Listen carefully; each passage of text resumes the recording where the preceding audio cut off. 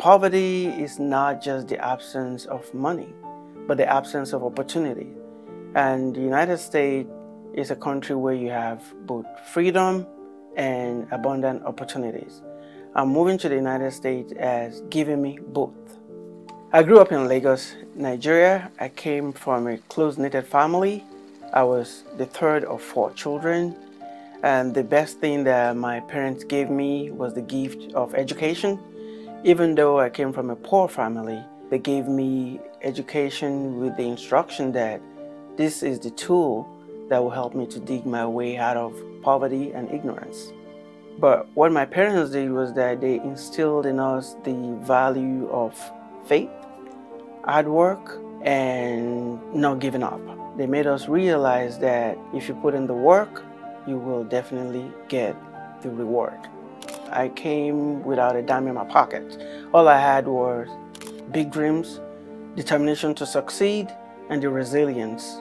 I got my first job at the age of 14. My job was on a construction site. My duties were to move concrete on a large pan from one end of the construction site to another one. I worked on that day from around 6 in the morning to about 7 at night. At the end of the day, the employer refused to pay me. And the reason was because she did not authorize the foreman to hire me. So I worked from sunup to sundown and didn't get paid. That tore up my spirit. And from that moment on, I decided that I was going to become a lawyer. And I was going to use every ounce of strength within me to fight against injustice, regardless of how powerful the opponent is. I am a man that worked my way up from nothing. I know what it means to feel like you're being unfairly treated, and I'm the person that can stand up to opponents regardless of how big or how powerful they are.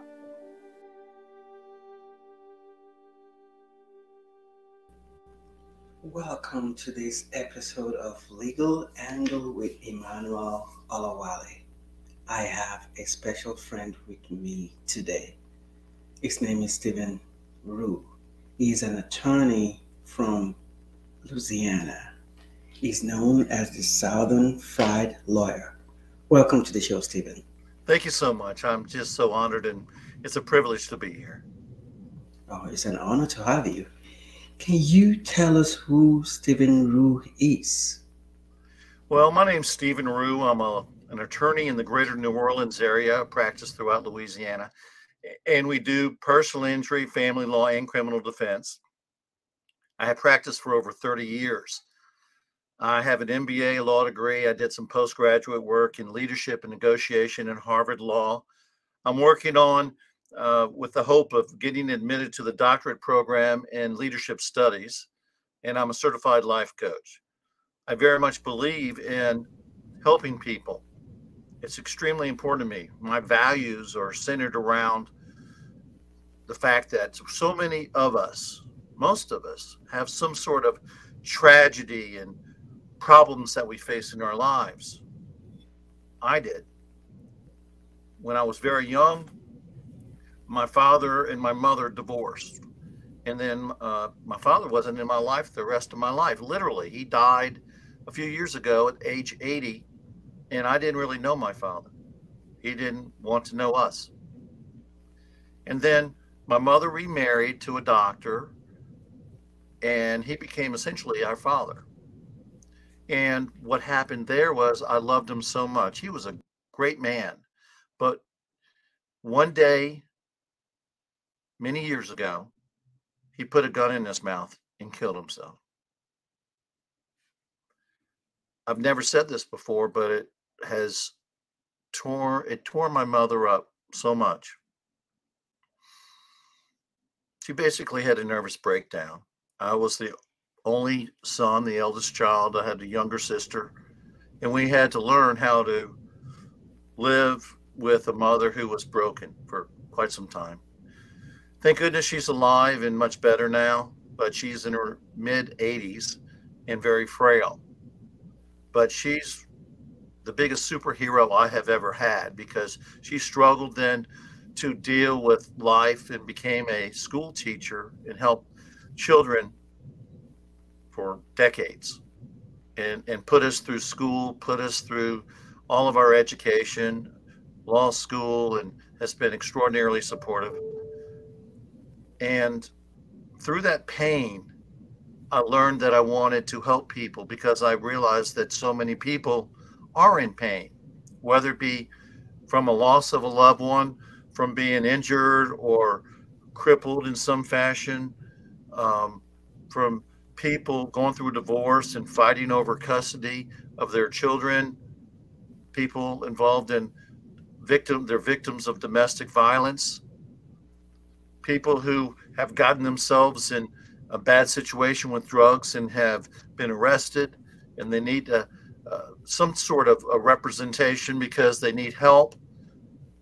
And I like to help them to turn the, their lives around. But I think being a lawyer on who Stephen Rue is, it's much more than just going to court. It's if uh, you gain the wisdom, and I'm a self improvement junkie. I've done the Tony Robbins, I've done the the CRISP uh, Law Office Management. I've done so many things. I've read so many books, including this beautiful book right here, and we learn from other people, and we try to model the best of everyone. And we learn that we're all fragile and yet we need each other. We truly need each other. And it's okay to be fragile. It's okay to cry. It's okay to say, I love you. It's okay to say that you're enough. It's okay not to be perfect because none of us are. And so I like, as a lawyer, to try to help people. I try to coach them in their lives. I try to let them change their personal narrative of who they are. Let's erase. I, I tell them, what, how do you describe yourself? Emmanuel, they may say, well, I'm, uh, you know, I, I'm, I'm a loser. I'm a victim or whatever, whatever they want to say. That is nothing but limiting beliefs for themselves. It doesn't serve them well in their lives and for those who they love and, and may support. So I like to try to do, in old school terms, an etch a sketch, shake it up, erase that image and let's create a new image. And if you need to put on a cape and to have a personification and to, you know, fake it till you make it, well, that's fine as long as you are true to who you are. So I try to help a lot of people do that because, and I, and I rationalize, I guess, to say, Emmanuel, that I'm being a good lawyer for my clients because I try to be a lawyer centered lawyer and a, we have a lawyer. I'm sorry, not I mean lawyer. I mean client centered. I'm a client centered lawyer, and it's a client centered law firm. And in order to do that, we try to help our clients as much as humanly possible to get through this experience. Because what's happening is, if they're knocking on my door and wanting an appointment, they're likely going through one of the worst times of their entire lives. They need help. They don't just need a lawyer, but they need someone that's going to be there for them in all the 360 aspects of their life, 360 degrees of their being. And we try to help them in that regard. We take that extraordinarily serious in my firm. And I have rationalized that if I can help them be a happier, more fulfilled, more content person going in the right direction, then they can be a better client. They can be a better party litigant in whatever they are, whether it's a personal injury, family law, criminal case, whatever kind of case it is, they can come out improved in some fashion. And I believe in continuing, never ending change. So, and that is who Stephen Rue is, Emmanuel. Thank you for asking. Continuing, ever ending change. Yes. And uh, yeah, you mentioned the tragedy that kind of forms you. I think you were about 12 years old when that tragedy happened. That's true. Yes. How was it for you? Because that's the age where you're not, you're in between preteens. You're getting into that age where your body starts to change, where you start to become a mini man. And for that yeah. kind of tragedy to happen at that point in your life, how did it affect you? I did not really have. Old? I didn't really have much of a male role model. I had a wonderful uncle who's been supportive all of our lives, but he lived in New Orleans, and at the time, uh, we lived in Atlanta, Georgia, uh, where my stepfather committed suicide. So he did the best he could, but finally we moved back to New Orleans, and he was more supportive. But he had a life too, and so being a 12-year-old boy without a, a father figure was very tough. I actually felt I had to be the man of the family, and that meant I had to be strong. I had to take over the male role for the household. My mother, I'm sure, didn't feel that way, but I felt that way. I could not cry at my stepfather's funeral. And I didn't cry for several years until one day my uncle came over and we had a long talk and I just kept I, I started to weep. He says, "What's wrong?" And it came to me I said, "You know, I finally feel like there's another man here that I can take a pause, I can take a break, and someone else can make sure the family's okay. And I was bullied after my father died as a, as a child. So, guess what I do now? I can't stand bullies. And, uh, and tr- people try to bully people in the courtroom. They will rue the day because I will make sure that that doesn't happen. I've worked very, very hard to be a superb litigator, a surgeon in the courtroom, and I will not let anyone be bullied. It also made me try to figure out why are people the way they are and what we can do to help each other. I became very creative. Like my mother's a painter, uh, and now I, as a hobby, um, I'm a serious painter. I sculpt, and um, I love the creative aspect of life. Uh, hence, you got some blue glasses on right now. And, uh, but people go, what's up with those blue glasses? Well, I like them, and that's the answer. You know, I'm not terribly concerned if people like them or not. Guess what? I like them, but I do hope you like them. But I, I, I, I believe that we all need to be ourselves, and we need to find a way to help each other and I tell you, when I met you, I found you to be such a genuine, wonderful person. And I'm so proud and honored to know you. I truly, because you are the type of lawyer that we need throughout the country and the world. You truly are. And you are a blessing, Emmanuel. Thank you. And, and, and so are you. And, Thank you, my uh, friend. Says the man who turns his personal pain to power and empowering other people and standing up against bullies. And so at the age of 12, when that happened, you, I know a few years later, you started high school. What was high school like for you? It was actually very nice. We, my mother, despite the fact that we were, uh, she was struggling. She had to uh, um, tutor people to make enough money to put us through school and uh, we did well in school. And I just, I loved, I loved to sing. I was in the choir, and I had a lot of good friends. I didn't have any problems really in, in high school. Someone tried to bully me, and I was, was starting to get bigger at the time. And I remember the first day of class, and I was like a, uh, a sophomore in high school. And this particular uh, gentleman, he, he, and I, he was, we were both boys at the time, of course. Um, tried to bully me. And I've had enough about being bullied. So I literally, first day of school, went up to him and I grabbed him and and for, I was able to do it. I don't know how I was able to do it, but I lifted him up in the air, hit him against this wall, and says, "You will not bully me this year. Do you understand that?" Things changed after then, and uh, I've kind of been that way ever since. Not mm. physically uh, confrontational, but uh, standing up for myself and for others. Recently, uh, you know, people go, "Well, what's this Southern Fried Lawyer thing?" Well, yes. Yes. Tell us about the Southern Fried Lawyer. People call me the Southern Fried Lawyer. Uh, one day I was in court and I was representing this literally a, a rock and roll star, literally from uh, Detroit. And I had a case against that person's uh, spouse, former spouse, and uh, we did very well that day.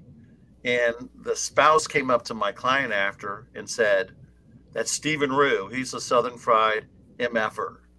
He actually used a different word than that, but uh, that uh, changed to be a little bit more genteel, and everyone started to call me the Southern Fried Lawyer. So I'm starting my own podcast. I'm writing a book called The Southern Fried Lawyer. I have southernfriedlawyer.com. And I want to write a book about how we, as lawyers and other people in the world, all of us can help other people and how to appreciate the blessings in our life and live a life of abundance for everyone else. And that's the highest life that we can live for others. To serve others is and that and to improve and to have progress, that is what true happiness is about and true purpose. Serving others is what true happiness and true purpose is all about. Wow. Yes. That's deep fried. That's deep fried. Huh? Extra crispy. Yes. So, so when did you realize that you wanted to become a lawyer? My uncle was a lawyer. At first, I had no idea what I wanted to do or be a lot of us, when we're young, we go to school, some of us go to college, and sometimes we listen to what others say. Well, you should be this, you should be that. And I had no idea. I, I thought I was going to be a business person. I got an MBA, and, uh, but I didn't know. My uncle was a and is a, a well known lawyer in the greater New Orleans area. So I said, well, I'm going to be like my uncle. And so I, I, um, I went to law school, and actually, the true story is that my sister is also a lawyer, and because I got my MBA and we're two years, two and a half years apart, we went to school at the same time. She went to Tulane, I went to Loyola, and my whole family goes, "Oh, it's a Stephen. I don't know. I don't know. I don't know if you're going to make it." Well, I showed everyone, I showed, including myself, because I ended up number 13 in the class out of over 200. And so I was extremely um, you know, proud of that and continued to do well. And I got my first job halfway through law school. I worked for a federal judge. And then when I got out, I worked for a firm that was representing Lloyd's of London. And I hated it. I hated it because I felt what I was doing was was trying to use my legal skills to deprive people of compensation that they deserved. In a particular case, a barge exploded and a man was killed. And my job was to try to how to diminish the amount of money that the widow was to receive. I couldn't do that. I actually knew that job wasn't right for me. I I aired my discontentment about it, and surprise, surprise, I was terminated. The best thing that ever happened to me but I had no money. So what did I do? I started working out of my small apartment. And I didn't know how I was going to make a living at all. And then there was this old steak and egg restaurant. Literally, it's where I'm sitting in right now was an old steak and egg restaurant. It had orange plastic furniture in it. It had steel grills where people would do omelets and things of that nature. And I saw it as a canvas that I could do something with. I didn't have hardly any money. I, I raised some money, and there was an elderly man that owned it. So I, I went to him and said, Sir, would you consider owner financing this? It had been boarded up for several years, but it's on a major thoroughfare. He goes, Sure, I'll do that. So, what did I do? I, I, I bought it with a, a, few thousand dollars that I had and was paying the gentleman every month. And we took out the orange furniture. I sold the um, the grills to somebody that wanted the used grills. And then I, we built out the office, but I couldn't afford an apartment and to build out the office too. So for a year and a half, I lived in the back room of this very building, an old steak and egg and that was over 30 years ago. Wow. Wow. you got to do what so, you got to do, you know? Wow. It's okay. So. So that I've seen worse things than that. Most people have. Wow. You have. So you you turned a restaurant into your law office, Yeah. a steak and egg restaurant. that's right. What was it like to be living at the back of that restaurant? I had to build a shower in, in the bathroom so I could shower every every every day. So it was it was quite interesting, you know. Um, back in the day when I was single, I, I would go out sometimes, and sometimes I would have a few cocktails, and I got up a little later than I should have, and had people in the co- in the uh, waiting area, and there I was just getting out of bed trying to hustle. But uh, those days are long and gone. But it's kind of fun to remember them at this point. What was your typical day like at that time? risk, taking risk. I remember the phone book, which is now a dinosaur, the Yellow Pages, was one of the major sources of advertising at the time. So I uh, went to the Yellow Pages, the local Yellow Pages, and I tried to get the biggest ad I could. So what I did is I got a full page ad and I got the back of the phone book full page as well it would cost me a fortune that I did not have. But I decided, Stephen, I'm going to go be be successful as a independent lawyer, my own business person, or I'm going to go bankrupt. And there were many, many, many, many, many months that I had to pay things with multiple credit cards because I didn't have any cash. It's not as easy as people think all the time. I, I there's many times that I didn't have a lot of money to go out and buy new clothes or food or whatever, but that was okay. And slowly but surely, I started to be able to pay my bills and grow my practice and hire staff and hire attorneys and build a reputation and and from that grit came success and prosperity. And after I got to a certain level of success and, and comfort, for lack of a better term, I turned myself inward to personal development. I went to all of the Tony Robbins seminars. I read I've read hundreds and hundreds of personal development books and books on how to build a, a good business. And I learned from that.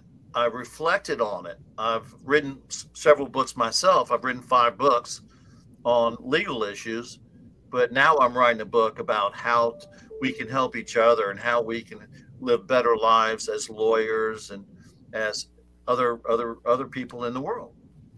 Um, and I want to impart whatever wisdom that God has given me through the education that you talked about in the intro. Our, our education is so terribly valuable to us. I do believe that we all should continue to educate ourselves as much as humanly possible throughout our entire lives, and then use that education, use that wisdom, use that experience to improve the lives of others. So, in the last few years, that has become paramount to me. That has become my ultimate goal in life is to live a good life with my loved ones, with my family, with my friends, and with the strangers that I love. And to improve everyone's life as much as I humanly possibly can. And I certainly still all continue to make mistakes and and and have failures and and things that we have to learn from and go forward. You know, that's what we need to do, regardless of our circumstances. Our past does not equate to who we are. Our future hasn't help, happened yet. So, what we need to do, in my view, is count our blessings. I'm a spiritual person. I pray every day. I also look at what I can do to that 1% that well, there's a saying that we uh, recently saw at a seminar that we went to said better than yesterday. Well, yes, I want to be better than yesterday every day. And that doesn't mean just for myself, that means to better be able to help others. And at the end of the day, that I did something good that is my legacy. My legacy, hopefully, will be the improvement on everyone else's lives that I've touched. And I, and I know that sounds very, um, I don't know, kind of self centered in a way, but I don't know how else to be other than to try to display love. When my stepfather died, it, may, it was a critical time and a motivating factor in my life. And um, on his recent 50th anniversary of his death, I had to make a video on that day. And I said what I want to say now to everyone that's listening and, and or watching that you are loved you are enough. You can be exactly whoever you want to be. That don't limit yourself, don't define yourself on the past. Tell yourself, who does God want you to be? And then be that person. Act in that way. Help other people. You know what to do, it's in you intuitively. You know this. It's your inner voice. That's God whispering in your ear saying, He wants you to be the best you you can be.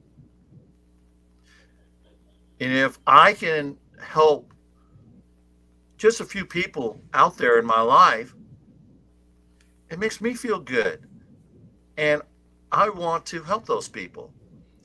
It's actually very selfish to give because you get a lot of return. We get a lot in return, although that's not the primary motivation, but it's true. It's absolutely true. You know, we all have injuries in our life, our traumas in our life that we've talked about during this podcast. And what I have learned is that sometimes we, as we get older and more mature, can need to take the time to help heal ourselves. Years ago, I was at a seminar and, and it suggested that you find the, the time in your life that you were the most hurt, the most damaged. Remember that child, that boy, that girl that was so hurt back then. Know who you are now that you are okay, that you are much better now, and that you have the ability to be self determinative of who you want to be in life. Close your eyes. I close my eyes. Go back to that child and talk to that child. Hold that child. And I did in my mind. Closed my eyes and said, Steve, I was known as Steve back then. Steve, you're okay. You're okay. I'm here for you. Come with me. Come with me now. I'm here to protect you. I'm your older self. You're no longer in need to be in pain. That moment was one of the most um, freeing moments of my life because I took that inner hurt child of myself and was that father figure to myself, was that parent to myself. I said to my younger self, I love you. You're enough. You're fine. Now come with me, and then let's go help others. That's what I did. You know, I used the word okay another time. I know I'm kind of freely speaking here, but I hope, thank you for listening. my great grandmother, I mean, my grandmother, her name was Mima. Mima and Pops were my grandparents. Mima was on her deathbed, literally, very frail. She was a petite woman. The night that I knew she was going to die, she needed someone to help suck um, the phlegm out of out of her throat, and so it was my time to do that. And I was at her bedside and was doing the phlegm. She could not talk, could not move, but I'm convinced that she could hear me. And I said, "It's okay. It's okay, Mima. I love you. It's okay. It's okay." At night, I left and my mother took my place at her bedside. Later that night, she died. And so, the same thing that I said to myself, I said to my grandmother, and I will say to each of each and every one of you now: it's okay. It's okay. You're going to be just fine. Believe in that. If you're so focused on sadness, then you're focused on the wrong thing because we have so many blessings. And if we focus on the beautiful sky, the wind, the cool breeze on our face, the family members that may love us, and not focus on those negative things that we easily can talk and think about, that negative inner voice that talks to us, we need to shift our thinking that this is a beautiful world and that we can be beautiful people to help other beautiful people of all shapes and sizes, of all colors, of all nationalities, etc. We're all human beings. It's okay. We're okay. We're okay. Yes, we wow. That is very empowering. How, you know, at the age of six, you lost your biological father to separation. Yeah. Six years later, you lost your adopted father yeah. to suicide. These are just series of pain. How were you able to transform this pain to purpose and spread love the way you are? One, I have a little side book I'm working on called Fading Fathers. Because my two fathers faded out of my existence, yes, but still did. you have you know some memories of it six years apart. I had great anger for my father through all of my adult life. Because I even tried to reach out in uh, the latter part of his last few years, but he would not respond to me. He uh, professed to be a big Christian and things like that, but he couldn't even talk to his only son. When he died, my sister and I weren't even in his obituary as being his children. I met my two half sisters, my biological father's daughters from another marriage, and who were lovely people. We we we we love each other. We get along superbly now, and uh, I'm blessed to have them in my lives, and I hope they feel the same way. They invited me to the funeral, and I had to go, despite the fact I hadn't had a relationship, because I had to declare to the world at at his gravesite that we existed, that we were in fact his children as well. And they had cremated his body. We, I met my sisters at um, at a restaurant in here in Louisiana, and we had to travel to Mississippi to bury him. And I said, "Well, where where is where is Dad?" He said, "Well, he's his ashes are in the trunk. We have to go find something to bury him in." And I'm thinking, we have to what? Yes, we actually went to a home goods store.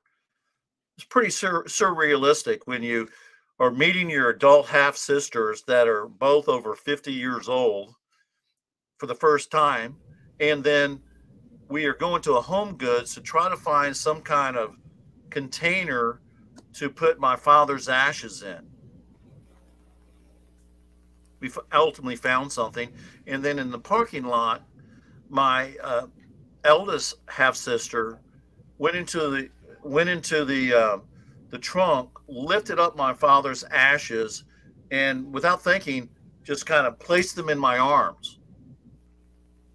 And I felt the heaviness of his ashes in, my arms, and it took me by surprise, and just I um I started crying. Some of the ashes went into the air. because that was the closest, that was the first time I hugged my father since I was six years old. I was hugging his ashes. And I had hated him that whole time because he had abandoned us. And then it hit me like God whispering in my ear You can't be mad at ashes. No, you can't be mad at ashes. And at that moment, my anger left. Hmm. And I realized that who was putting that anger in myself that whole time was not anyone but myself. We hold these resentments when we need to let them go. We are that's part of our our personal narrative, our story that we are allowing this hurt to percolate into anger, to percolate into negative stuff, to percolate into uh, whether it be substance abuse or or how you treat other people or or just how you define yourself. And that needed to, that needed to be like I said a race, like an etch a sketch. And my life through that pain has been a process of dealing with pain and learning that everyone else has pain. Wow. I tell you, when you learn that everyone else has pain, everyone else has trauma, everyone else has problems, everyone else has fears, everyone else doesn't know what's going to happen, has worries about finances and health and whether someone is loved, etc. It brings us all to that same level of existence, of humanity, of that's why we should love each other.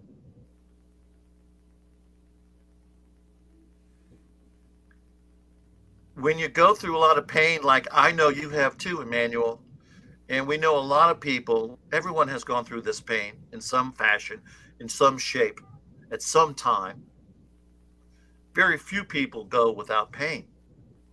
It's inevitable. That's part of life. Peace but it's how we deal with it, right? It's how we deal with our problems, how we look at our problems. Are they or make them lessons? Learn from our pain, learn from our failures, quote failures, because they're not. They're just part of life. If everything went our way, I guess it would be a pretty boring existence, wouldn't it? But at the end of the day, we have to learn from our experiences, and that's what I try to do. Thank you. And when you decided to uh, start your own practice, how did you decide what areas to focus on? I always wanted to be a big personal injury attorney, and I've had many multi million dollar cases. I helped um, a family in tremendous need when five children were killed in, um, in, in a car accident. I was there when elderly people were killed in a bus accident in which the seats literally came together, the metal came together side by side by side. I was in that bus. I saw the glasses on the ground. Literally, a Bible was on the ground. I've been in those circumstances. Again, I know that there's people that pain. I've seen other people's pain. And having that commonality, it helps you be a better lawyer when you understand pain as well, when you understand loss. Grieving is something that we can't tell how other people to grieve. We can't do that. That's not within the realm of our ability or realm of our propriety. Everyone grieves in their own way. And then I started to do a lot of family law because dysfunctional family. I wanted to help people that were in the realm of that dysfunction, whether it be a simple divorce or whether it be uh, custody battles and truly looking after what is the best interest of children. I want to say while I have this ability to talk to people that I think that all lawyers in the family law field really need to not bolster themselves at the sake of these children. Not to fight overly heavy at the sake of children. They lawyers need to work together with the court system to do what's in the best interest of children and also help parents understand they need to stop hating each other and looking after what is truly the best thing for each of the child children that they have together. They don't have to like each other, although they need to grow up and and, and, and become parents. They need to be good co-parents that we need to find a way to make the existence of those children less traumatic. And so I really started to do that. And people came in for all other types of, of, of uh, practice, and we did a lot of that as well. But the personal injury and family law has been the primary focus of our practice for a very long time. And we're very selective on who we take on family law, and we are very aggressively uh, helping a lot of people who with traumatic injuries and, and unfortunately deaths. And we continue to do that, and I want to do that as long as I have the ability to do so. Thank you. Thank did you. you how, how did you develop the philosophy with which you run your practice? Because it seems like you've made what happened to you as a child that formed the person you are. You've made it as a purpose to also help to alleviate other people's pain. How did you formulate the philosophy? At one time when I was a child, I thought about being a minister, but I had decided I was too hedonistic and materialistic to do so. And as time has evolved and as I have matured, uh, being a minister probably would have been a pretty good thing for me. But I think that we all can be ministers in life, whether we're ordained or not. And so um, I, I, actually am an ordained minister, but I, I don't preach in front of a church. Uh, but I want to uh, do my personal preaching as much as I can everywhere I humanly possibly can. Um, yeah, so that's that's what I do, and and uh, that's who I am. Yeah. So you just use your office as your pulpit. Yes, it's my pulpit. It truly is, uh, and some some people don't want lawyers like me.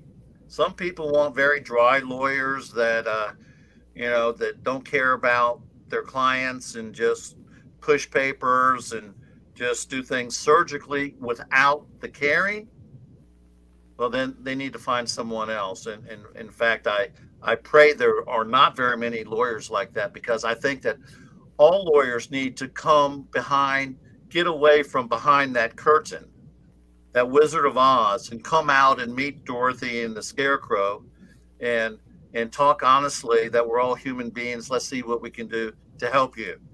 Um, we as lawyers sometimes want to stay behind that curtain and be that Wizard of Oz and not let people know who we truly are because we're afraid they'll find us to be frauds or something.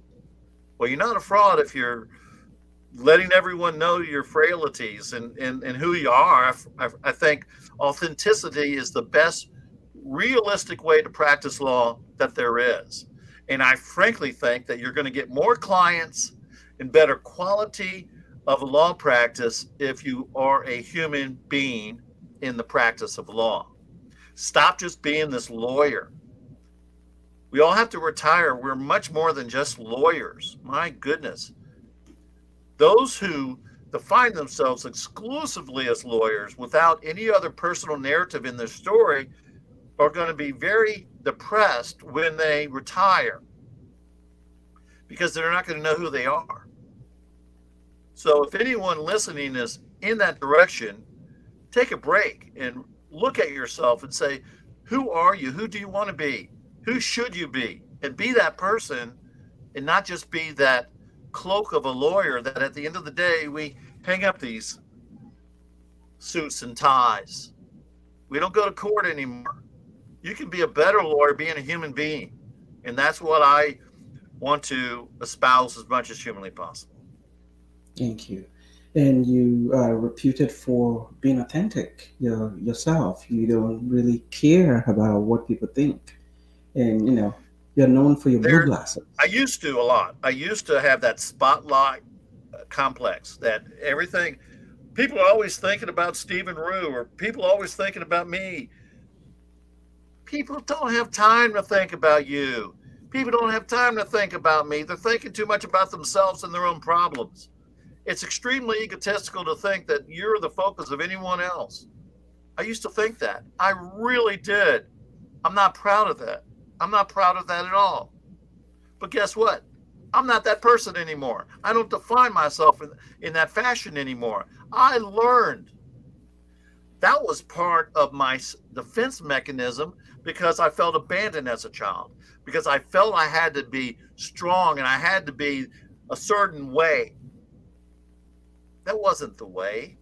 That was my turtle shell, protecting myself. And I was sticking my head in the sand from reality of being vulnerable to my own pain and to dealing with it. So that's what I have done. I took my head out, I poked my head out of the shell and said, This is nonsense. Stop living a life with the intent and need of significance, which is uh, uh, essentially at the end of the day a very non rewarding need of our human needs. And let's try to evolve into caring about other people, having certainty and uncertainty in our life. We need both, but we also need to have love and affection, and we have to have contribution to others. That's the highest level of our personal growth is to get beyond our ego, to to leave that and to find a way to help other people. Find And There's a book people. called The Obstacle is the Way, and it deals with the issue of we all have obstacles, we all have tragedies, we all have these problems. But if you don't have these problems, if you don't have this pain, you can't learn from it. You can't grow from it. You you have to take advantage of these times of sadness, of hurt, and realize it's temporal, meaning this too shall pass. If I told my father when he put a gun in his mouth, Dad, don't do that. Take the gun out of your mouth. We love you. This too will pass. Then the next day, had he not killed himself, he probably would have realized I was just down. I should, I'm fine. And he might be here today. So we need to understand that these things are will pass if we let them, but we need to learn from it and then hopefully evolve that continuing, never ending improvement. And that's what I try to do. I become try to become more enlightened every day. I got to tell you, I devour books. I devour audible books, audiobooks. I listen to them constantly. And there is not a day that I don't read or listen that I don't learn something new. The reality of it is we don't know what we don't know. And so we get in this rut of thinking we know so much. Well, that becomes a self fulfilling prophecy of a narrative of who we are. Sometimes you got to peek over the rut and say, hey, wait, there are things out here beyond our comfort, comfort zone that we need to get into. We need to lean into our uncomfortableness to grow. We need to learn how to be comfortable about being uncomfortable because that's the only way that we can grow muscle or anything. And generally, it's incremental, meaning I started running marathons when I was 40. I'm not an athlete, but all these jocks were talking to the girls and saying, um, yeah, yeah, I run marathons. Well, I said, I said, you know, I'm going to do that. Well, since then, I've run 14 marathons, seven New York marathons. And I learned one thing know how you run a marathon? A step at a time. As you well know, Emmanuel, how do you write a book? A word at a time. Don't focus on that big staircase and go, oh, I don't know if I can make it. Don't focus on 26.2 miles. Oh, I don't think I can make it. Focus on that one step. Focus on that one word. Focus on that incremental change that you can actually make progress because progress is happiness. And every day, if we're better than yesterday, Every day that we, if it increase a fraction of 1%, your life will be exponentially improved. We have to look at, I, I wear, and I'm going to show you, a medallion. It's Tibetan. And it's right here. Well, that's my cross. Here is my medallion. And it's a circle. And what it symbolizes to me is that we have to be well rounded individuals in all of the various aspects of our lives. What are the aspects of our lives? Well, we have family and friends and acquaintances, we have spiritual, we have financial. You know, what about our job? We have our physical fitness and health. All of these aspects of our life, we have to try to be as well centered as possible because it's like cogs on a wheel. If a part of our life is out of balance with the rest, then your whole cart is going to go like this. Your life is not going to be balanced. So we need to continually focus on, in my view, how to improve all of those areas of our life our relationships with our loved ones, our relationships with people we don't know, our spiritual and religious relationship, um, our physical fitness, our financial, all of those things come together into our being and our in our um, ability to be the type of success that we want to be. You have to be. So that's what I'm perpetually trying to do and also help people with. Thank you. And you'll soon be starting your own podcast known as the Southern Fried Lawyer Podcast. The Southern Fried Lawyer Podcast. Yes. yes. Tell us uh, about uh, the people podcast. seem to like that that name, so I'm going to adopt it. Uh, we have a federal trademark coming on it too, actually. Um, but I guess I'm going to be the Southern Fried Lawyer, and in that, I'm going to be use my life coach, my uh, education, my leadership studies, and to try to help not only lawyers become more human in their practice and in their lives, but other people too. And I'm really looking forward to it. I hope that you will be on my podcast on the future, Emmanuel, because you yourself, sir, are such an inspiration of not only motivation, but of discipline and of caring and of love. You, you, sir, are a wonderful human being that I am blessed to know. You thank truly you. I'm blessed to know you as well. Thank and you. yeah, thank you. Sometimes during your career, you ran for lieutenant governor of Louisiana. I did. I ran for lieutenant governor, and then I was actually doing quite well. And then this situation happened that the United States senator's brother decided to run. Well, guess what? I did not win that election. and, you know, it's kind of like that Garth Brooks song, Thank God for Unanswered Prayers. Hmm. Because when I look at it at the end of the day, I feel blessed that I did not become lieutenant governor. I guess it would bring me down a different path, and you never know what that would be. But I'm quite happy with where I am now and my ability to serve other people. And I, um, back in the day when I ran for lieutenant governor, I still had that desire of significance. I guess I still do because we all have a certain level of desire for a need of significance, but it mine is much more uh, modulated at the moment in in my life, and uh, I'm very I'm thrilled with the prospect of every day getting up and trying to help somebody. That to me is um, a blessing from God. To me, it really is. And you have this, I, I don't even know how to describe it, this die hard work ethic. Anything you put your mind into, you go all the way in never leaving anything out. Yeah. I've, I've witnessed it firsthand, so I know what I'm talking about. where where did that drive come from? Uh, that drive came from my mother. I have the same drive as my mother. My mother, as I mentioned earlier, Jeannie Rue Pearson is her name. Again, she's my hero, but she fought for everything in her life. She struggled and was persistent and would not accept no as an answer and said, "What how do I get there? What do I do? How can I improve this for my children?" I guess I didn't fall far from that tree. And she's been a wonderful role model in that aspect of my life.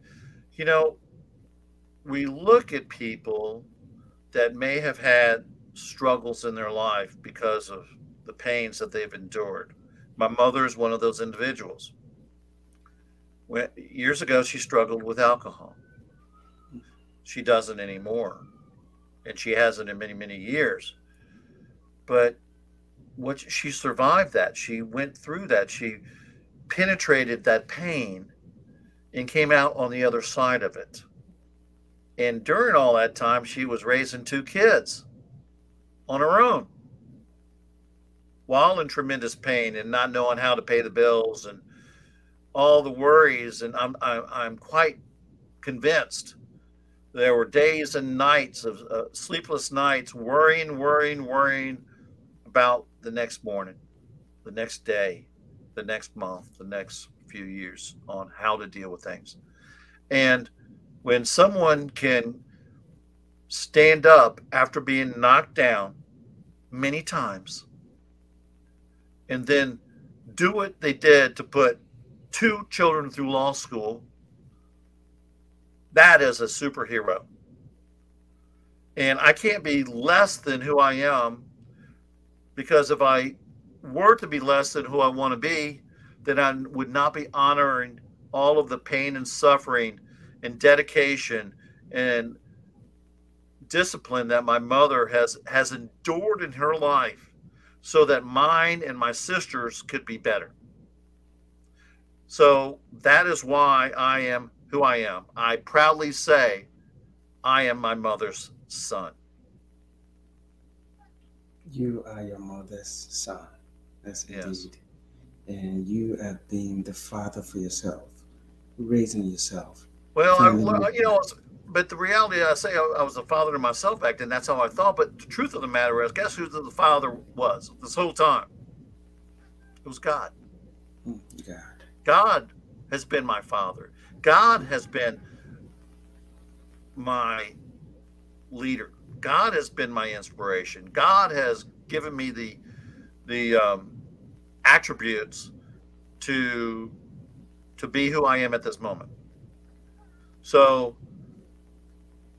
you know, although I I did say and that you know I had to be my own father, the reality of it is, and I've come to this um,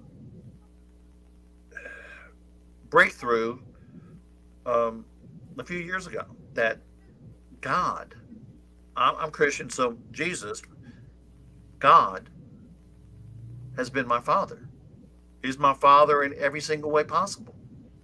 I have a stepfather now who's been with my mother for many years, and he's been a, a great human being and a man. But who's been my father is my God. I think we need to be fathers to each other and, and human beings to our each other, parents to each other, brothers and sisters to each other.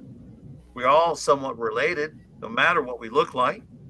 And you know, I, you know, we talk about politics. You know who I am? I'm Switzerland. I don't talk politics because I think that divides, and um, it doesn't define who you are because we all are not lawyers. We're not Republicans. We're not Democrats. We're not independents you know, we're not Baptist or Muslim or or or whatever.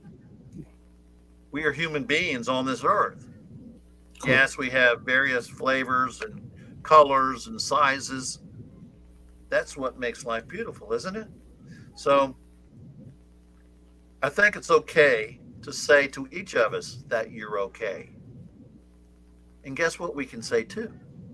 To ourselves I'm okay. Each of us can say, I'm okay. I'm okay, Steve. I'm okay, Emmanuel. I'm okay, Jane. I'm okay, Sue. I'm okay, John. I'm okay. We are okay. And we're definitely going to be much better and better, all right and okay together than we would be apart. Yes, we are okay. How can people reach you? Well, um, I have a website, stephenrue.com, um, or they can go to southernfriedlawyer.com and they could, they could, uh, my phone number is 504 529 5000. I'm happy to talk to anyone that emails or calls and uh, like to continue this discussion. Thank you. It's been uh, wonderful having you on this podcast. And it's been my blessing. Thank you. It's been a pleasure. And what does it mean for you to be on this podcast, Legal Angle? This is the very first podcast that I have ever been on, and it uh, it gives me that tremendous opportunity to share and spill my guts out. That you've been so gracious to kind of let me talk without asking too terribly many questions. Um, but and I really do appreciate that. I guess I felt it was a little bit of therapy today, uh, but I love this ability, this forum, to communicate with others who will listen and or watch this podcast and hopefully get something from it. It, it allows me to have my first pulpit in my life on the internet. So, Emmanuel, I am forever grateful for the invitation and the ability to be here with you today. Thank you. It's a pleasure to you know, have you on the show. And thanks again for, for being here. And for those of you at home, either watching us or listening to this as a podcast, we thank you for your time. And remember to subscribe to us on Facebook, Instagram, and on the podcast itself, and to follow us on Instagram. You know, until next time, take care and stay blessed. Bye for now.